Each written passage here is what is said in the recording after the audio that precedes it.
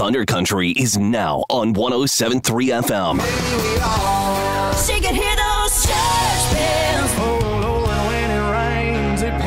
Reset your country to Thunder 1073. Nobody plays more country.